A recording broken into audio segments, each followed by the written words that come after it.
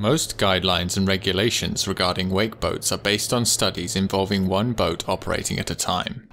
These studies vary substantially in quality and credibility, ranging from a flawed industry funded study based on a hypothetical boat to studies conducted by research universities that compare the wakes from different kinds of boats. A couple of states have already adopted laws that incorporate the woefully inadequate guidelines proffered by the wake surfing industry, which recommend that wake boats stay at least 200 feet away from shorelines and docks. A few other states have adopted or are considering adopting more protective restrictions that reflect the higher quality research into wake boats. An important characteristic of waves is that they transmit energy not water, across the surface of a water body.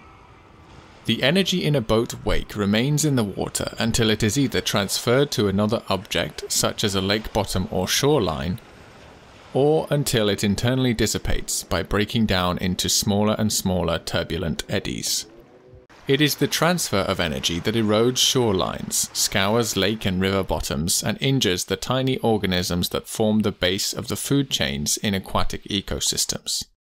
This is why wave energy, not wave height, is the most relevant property to consider when evaluating how best to limit the damage that wake sports inflict on shorelines, structures, other watercraft, and ecosystems.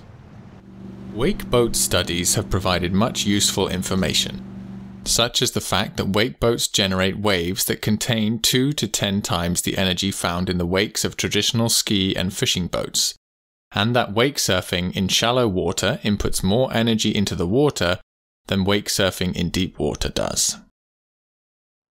Waves generated by a single wake boat tend to follow a consistent pattern, in which the wake begins as a massive wave behind the boat, which quickly forms into a wave set of two or three tall waves.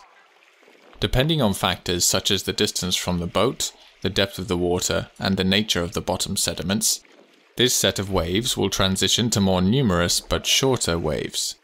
Nonetheless, in deeper water, the wave set from a wake boat can persist in substantially its initial form for considerable distances. In such cases, there may not be much difference between a wake that has travelled 200 feet and one that has travelled 500 feet. When multiple wake boats are on the water, they put more energy into the water than do single boats, and the wave behavior becomes more complex. Wakes that come from different directions typically produce a choppy state that spreads over a large area. Reflected wakes tend to add to the choppiness. Waves originating from boats on parallel courses can form augmented waves that carry more energy than waves from single boats. In some cases, when a waterway is subjected to sustained wakeboat activity, boat wakes can produce a swell that persists even when boats have left the immediate vicinity. Such swells can result in sustained pounding of shorelines and structures. Flat water ecosystems can only absorb so much energy before they incur adverse effects. Similarly, excessive wakes impair the recreational value of water bodies.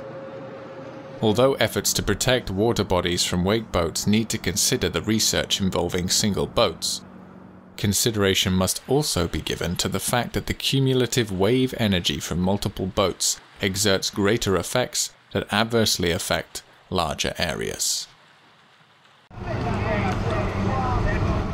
Our lakes and rivers are valuable we should take better care of them.